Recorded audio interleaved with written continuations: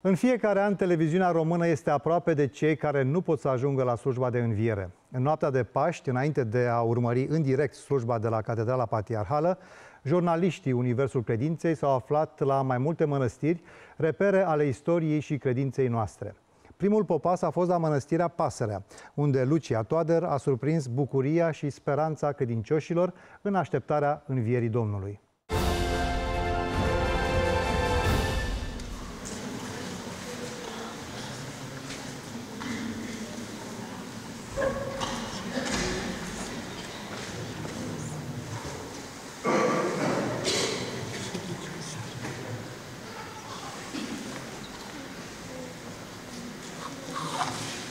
Veniți de primiți lumina.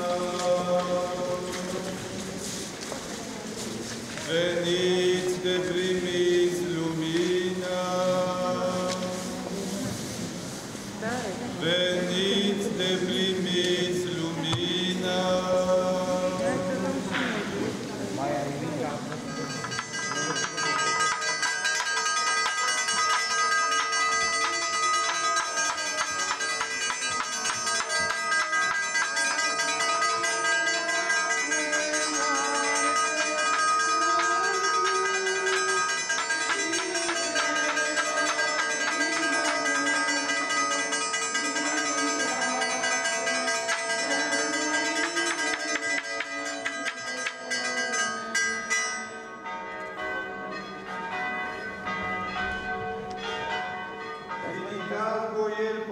porțile voastre și vă ridicați porțile cele veșnice și va intra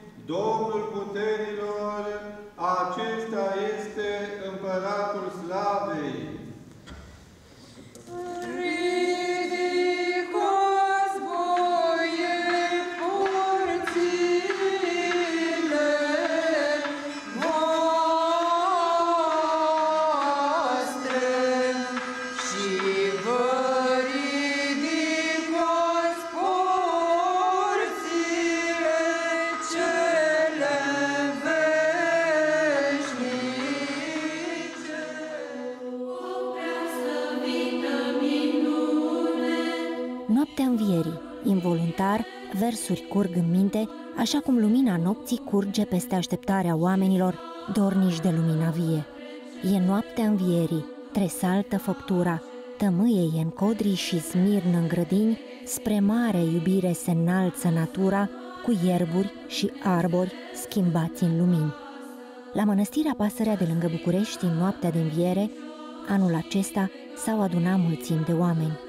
Obștea măicuțelor, de la cea mai vârstnică 96 de ani la cea mai tânără, orchestrată de maica stareță Mihaela Costache, vioaie la pas și înțeleaptă la vorbă, au făcut din bucuria învierii un cântec răsunător peste morminte, peste oameni, peste pădure și flori.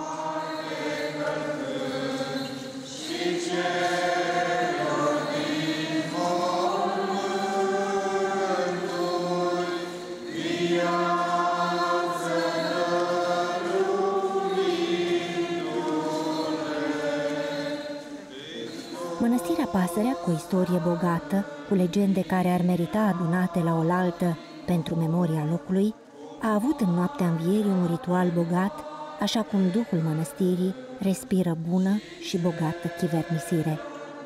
Înainte de miezul nopții, două cete de maici merg la toate chiliile și cheamă la rugăciune. După citirea canonului Sâmbetei Mari și a cuvântului de învățătură a Sfântului Ioan Gură de Aur, întreaga obște de maici urmează preotul ce aduce lumina.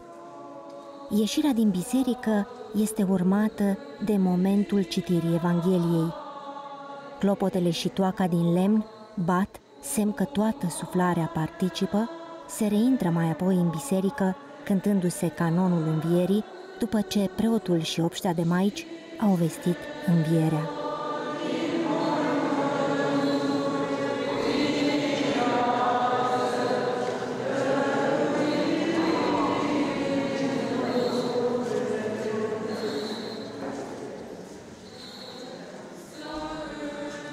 Sute de lumânări aprinse la căpătâiul maicilor din cimitir amintesc că vii și adormiții sunt în împreună rugăciune.